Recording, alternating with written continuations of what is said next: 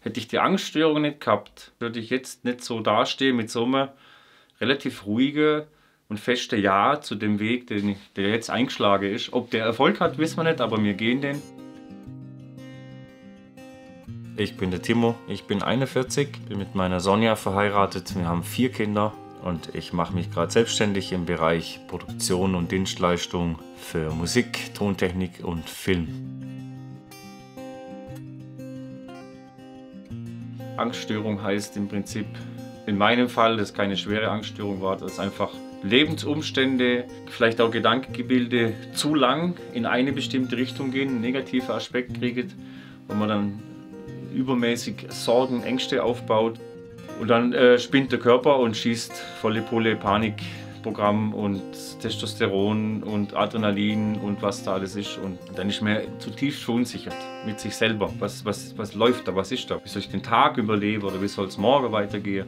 Und dann aus dieser Angst und Verzweiflung quasi zu sagen, so mache ich es nicht, so geht es nicht mehr, auch als Familie. Und dann mit der ganzen Musikleidenschaft an dem Punkt zu sagen, dann gehen wir doch jetzt die Richtung.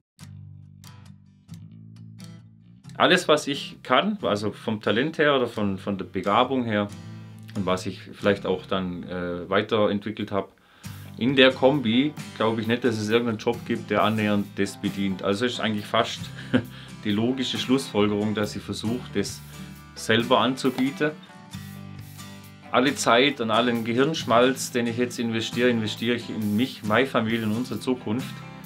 Und das fühlt sich anders an wie acht Stunden am Tag für irgendjemand schaffen und dann Geld kriege. Ich könnte den ganzen Tag Musik machen. Das, ich habe das früher immer so in Interviews und so liest man das von anderen und denkt, ja, das, sind, das, sind, das sind so die Freaks, aber ich bin auch einer von denen.